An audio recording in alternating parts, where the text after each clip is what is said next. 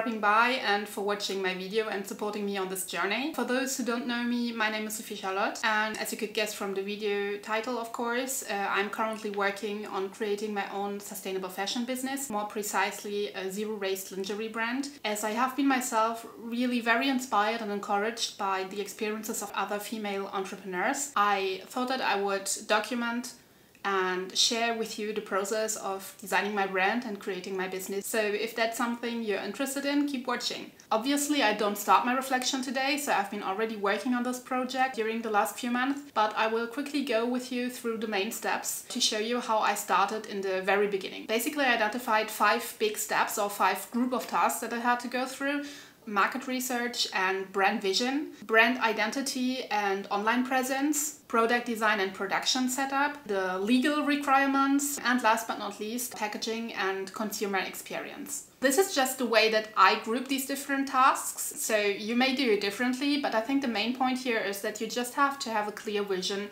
on all these topics in order to create your brand and your business. I didn't really start off with the classic market research. I was basically just looking for eco-friendly and skin-friendly lingerie for myself because I really love lingerie. I love beautiful fabrics like tulle and lace and satin. I love how uh, lingerie can make you feel. I love that it's something that I truly wear for myself and how it can boost your confidence and make you feel beautiful or sexy or strong or all that at once, of course. Um, but I also really love the planet, the environment, uh, and my skin and my health, especially since I'm unfortunately confronted with infertility issues and I'm more aware of endocrine disruptors in our clothing. So I was looking for lingerie that uh, respects both the planet and our health in the way I wanted to, and I had a really hard time to find any. Of course, I tested multiple brands that are already out there and that claim themselves to be very sustainable and ethical and skin friendly and so on. But in the end, I was always confronted with three main issues. Either the designs were too simple without any embellishment, lace, beautiful fabrics and so on, or especially the bras didn't have enough support. I'm not at all into lingerie that completely deforms your body and so on, but um, I mean, I still want bras that give enough support to feel comfortable and confident, or they actually still contained uh, synthetic fibers, even though I was looking for lingerie made from natural fabrics, but often it's uh, blends of natural and synthetic fibers. And actually, when you wash these products, very small uh, nano plastic particles uh, will end up in the ocean and uh, through that also in our food chain, uh, which is of course really not great. So yeah, in the end, I just decided that I had to make my lingerie myself and that I also wanted to make it available for all the other women out there who want eco-friendly and skin-friendly lingerie with still a little embellishment and yeah, like comfortable and Beautiful. I want my lingerie brand um, to represent designs that are easy enough uh, so you can wear it anytime, but that are also delicate and beautiful at the same time. Then I was thinking about my brand ethics and I want my products to be as zero waste as possible. So that means that they will be made from natural fabrics uh, that are biodegradable. So actually in the end of a life cycle of the product, when it's worn out, you would be able to compost it. I also want to keep all my fabric scraps from cutting my, my fabric pieces. At the moment I actually use them for my uh, guinea pig textile litter. Uh, I have two guinea pigs that are living with me here in my studio space. They're really happy about it, it's really comfortable and I'm happy not to waste my fabric scraps. So that's really great, but in the future I will uh, make like uh, small accessories like scrunchies or eye masks um, and so on. And then generally I only want to produce in small series or uh, to order to avoid overproduction. That's how I want to become a zero waste brand. Then I also want my lingerie to be made uh, with organic fabrics or from fibers that naturally don't need any pesticides to be grown to really take uh, best care of our most sensitive body parts. I also want the whole business to be plastic free, not only the fabrics that I use, uh, or the elastics. So yeah, for packaging, for example, I also want to avoid plastic and I'm um, at the moment uh, looking into options that are made from recycled paper and of course that are also recyclable. So that's that. I of course also decided that I want my products to be ethically made and to have fair prices. That at first means that um, I want to calculate an actual proper wage for the actual production of the products because my goal in the future would be to hire seamstresses to, to produce the lingerie. And when it's just you, I mean, you can choose to pay yourself even less than the minimum wage if you want, but that means that you give a, a wrong impression of the value of your product. And it also means that you would never really be able to hire anyone, at least not locally. and yeah, I mean, if I do that in the future, I want to hire people at a fair wage, of course. The main idea is to make everything as accessible as possible while uh, still valuing the product for what it is and valuing the, the work behind for what it is. And last but not least, I also thought about uh, like the production itself to be as sustainable as possible. So I actually got an electricity contract uh, with a provider that only uses renewable energy here. And also, as I decided to do everything in one space, I mean, cutting, sewing, packaging, and so on, I avoid increasing the carbon footprint of the products by, uh, yeah, avoiding to, to shifting them from one place, from one studio to another for each step, as it is actually often the case. Regarding brand identity, I must say that uh, picking a name was one of the hardest tasks. I didn't want to use my own name um, as a brand name, as many designers do, because I wanted it to represent really the brand vision, to have a meaning. And I wanted a name that works in French, because I'm based in Paris, of course, but that will also work in English and of course it had to be a name that is not taken yet and that was actually one of the most uh, difficult things. I finally decided to name my brand Sincère in French or if you want to pronounce it in English, um, Sincere. Uh, because I think one of the, the most important things at the moment is to be completely transparent and to be completely sincere about my sustainability commitments. I know that no one is perfect, I'm not perfect, but I'll always tell you what I do, uh, and what I cannot do yet or where I'm still looking for better alternatives or um, yeah try to improve in the future and yeah that's really my main goal and I really want to to be um, sincere and to put an end to just greenwashing marketing. And the point S at the end of the name is a reference to the inclusive language in French and also a reference to the first letter of my first name, which is uh, Sophie Charlotte. Um, so that's that. I also designed a logo with its strapline, Eco Lingerie, handmade in Paris, and a separate small logo to be used uh, for profile pictures and social media. And I choose a color palette that is composed of four main colors that are then declined in different levels of brightness and saturation. And I picked these colors following an idea of the artist Angelica Dass, who uh, portraits people from all over the world and matches their skin tone with a Pantone color to show the diversity of uh, human skin tones and um, yeah question the binary thinking of like black and white skin and I really wanted to bring this idea of diversity and inclusivity to the brand so yeah that's why I choose these colors. My next step was to make my website and I uh, decided to use a WordPress website with the WooCommerce plugin for that and I felt like this combination works really well for me especially with the Elementor editor that allows you to um, edit your pages from the front end. So if I want to change a picture or text somewhere I just have to click on it um, and can directly change it uh, yeah, from the front end like this. I already finished a good part of the website. Um, I got my homepage here with an introduction uh, to my brand vision and ethics and also a short introduction of myself. I also got my page uh, about brand ethics where I explain eco-conception, uh, the zero waste production, price transparency, and um, how I try to uh, decrease the carbon footprint of my products. I also got a page uh, where I give more information about the sustainable materials that I use and why I use them and why they are sustainable and why they are good for our skin and our bodies. And as you see here, the pictures are missing. So that's basically what I still have to do uh, to finish the website. I have to do like uh, a real photo shooting and put all the pictures on it and of course do the actual shop because as I don't have produced all my designs yet I did not set up the shop but I will do that very soon. The website is uh, still in French, I mean, which is cool because I want my website to be in French, but I want it to be bilingual um, and I will still have to translate everything into English as well to be able to address also people that are not French speaking.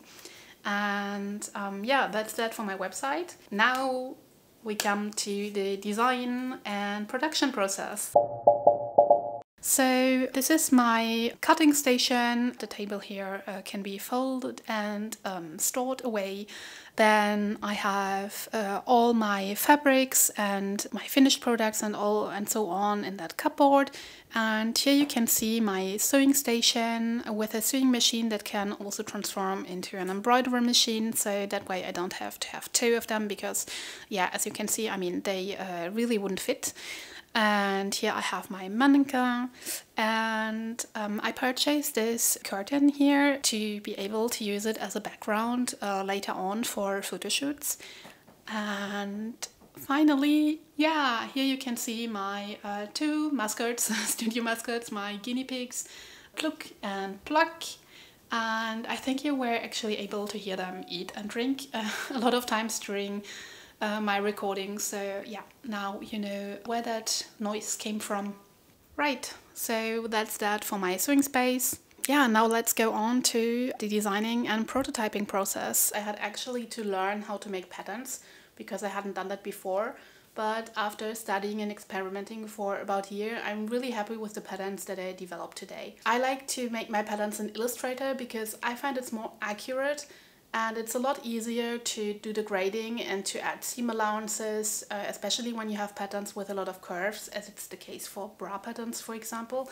So yeah, I really appreciate Illustrator for that. I haven't done all the grading yet because as a small business I cannot allow myself to make all my pieces in any size possible but I have developed a core range and I'm happy to make them in other sizes on demand for a little small extra fee. When I finish the pattern in Illustrator uh, I just print it out with my home printer and then tape it together. The only thing that you have to take care of here is that as it doesn't print on the whole sheet I usually scale up my pattern in Illustrator and then print at 96%. That way it's a lot easier to assemble and to be really 100% accurate. For my first collection I got for example uh, a little camisole, so uh, this would be the back and uh, this is the front. I also have some cute little sleeping shorts. So this is one piece and here the other one. Um, here I got my triangle bra pattern. Um, I have little knickers. Um, so yeah, this is actually two different sizes, but here would be the front in size S and the back in size L. So sometimes I also make my patterns on cardboard because for some pieces it will be easier to cut them that way. And other designs are in the making, um, for example a more full coverage bra, so here you can see one of the cups. I decided uh, on rather minimalist designs that are timeless because for me being timeless is also part of uh, sustainability and that way the designs uh, will be able to highlight the very beautiful fabrics that I was able to, so to source. Sourcing the fabrics was actually one of the most challenging tasks because of my high sustainability standards. So I wanted to have fabrics that are already produced. Then I also, of course, didn't want any synthetic fibers, which is especially difficult for lace that can stretch and for jerseys because they often contain 5% uh, of spandex. I was also looking for suppliers that are either in France or in neighboring countries to minimize their carbon footprint due to shipping. So that was not easy, but I managed to find, for example, this really beautiful lace.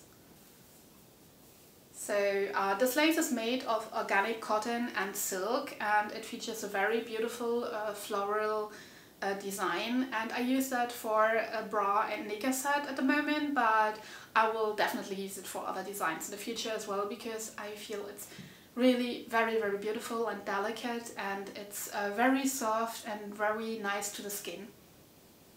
So that's that. I also found a 100% uh, organic cotton tulle that is even GOTS certified which is really great.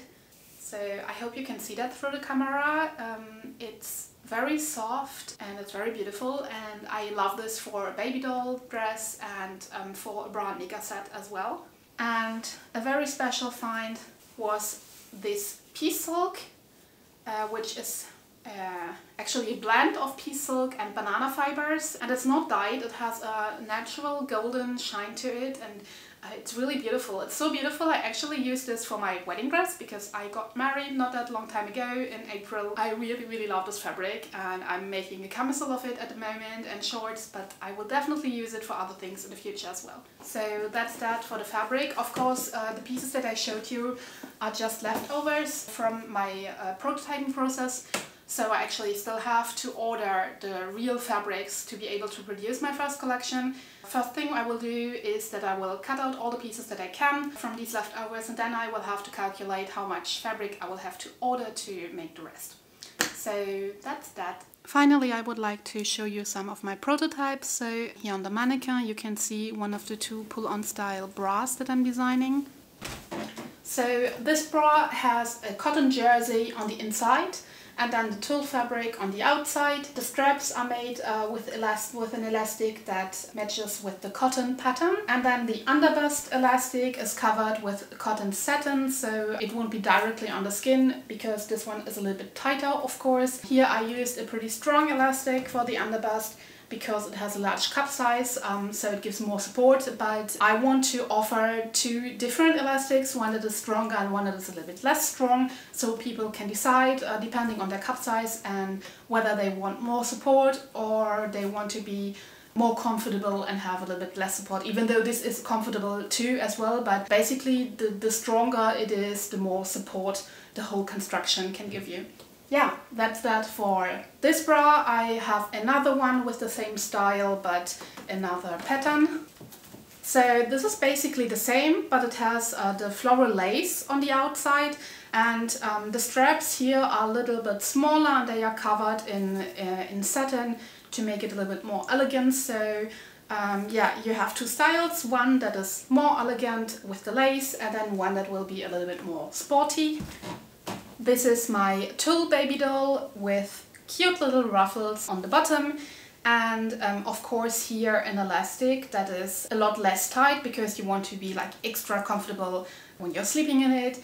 I just forgot to say, uh, of course you see here's a lot of fabric because it doesn't really fit the size of the mannequin. So uh, these cups are too big for my mannequin and I didn't stuff it uh, for right now, but I think it still gives you an impression how, how it will fit on a bigger bust.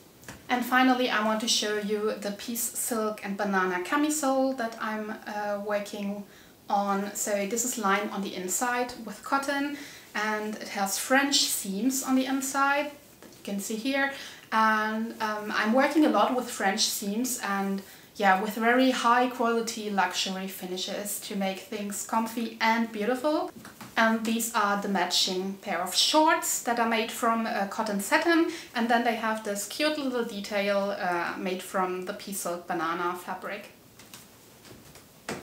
So that's that for the prototypes that I have done so far and I will show you other designs very soon. Regarding the legal requirements, I don't really have a big speech or anything prepared because uh, they really depend on where you are in the world. Basically, you will always have to choose a legal status for your business and that was pretty easy for me because I already had one before. I had a micro business in France. I could set up my new business with this same status, which is, uh, however, only convenient when you're doing your business alone. It's basically a one-man or a one-woman business. And even though it allows you to hire uh, people for work, it's really not ideal for that. So if I grow, hopefully in the future, I will then have to change the status. But I stick with it right now because the tax applications and the accounting are very much simplified with this status. In most cases you will also have to open a special bank account for your business and even if it's not required, I highly recommend that you do it because accounting will be so much easier. For me that was already required for my former small business, so um, yeah, I already have one. But there's still one important thing that I still have to do. I have to write my general terms of use and my general terms of sale and I'm not sure for now how I will do that. I could hire a lawyer to do it for me, but that will be pretty expensive and I'm trying to keep my costs low at the moment. And then I did some research and I saw that there are websites who offer to write kind of very general texts for you that are a little bit adapted to your business. So if any of you have experience with that kind of sites, I would appreciate if you could share your experience in the comments below. Otherwise, I will have to do some more research about it and give you an update in another video very soon because yeah, I definitely have to do that to put them on my website. And then there's one other thing, I still have to get uh, professional liability insurance that I don't have because it hasn't been required for my former business, but I will have to get it to be able to sell, so I still have to look into that and I will do that very soon. I haven't worked a lot on my packaging yet, but I found like the basic materials and here of course it was very important for me to find the most sustainable option as well. So that meant that I wanted packaging that is made from recycled materials and that can be recycled as well. I found this tissue paper that I will use to wrap all the garments. Um, I will close this with a little sticker that I will make. I purchased these sheets with small little stickers on them uh, that I can then make with my home printer. I think I will put my logo and my social media handles on them. I bought uh, different boxes for shipping, so this is obviously a, a small box. I have them in several sizes. Let's see how that works.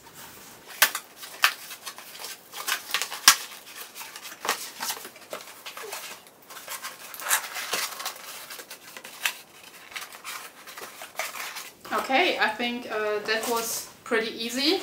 So uh, this is the box and you just close them like this.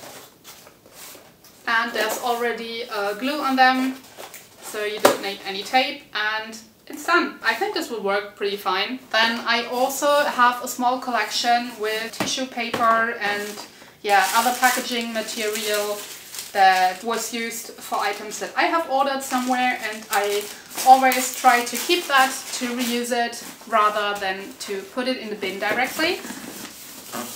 And um, I got this eco-friendly tape that is made from paper, I think it's kraft paper and it has like a sustainable glue on it and yeah, so that's completely recyclable as well and I'm really happy with it. These are the basic materials but of course you have seen there's no branding at all for the moment apart from the stickers that I will make and yeah, I'm thinking that I will probably make some business cards with a beautiful picture of lingerie on the one side and on the other one information about the brand, um, the care instructions. I want to make them really beautiful so ideally they don't get thrown away immediately but you could use them for decoration and stuff.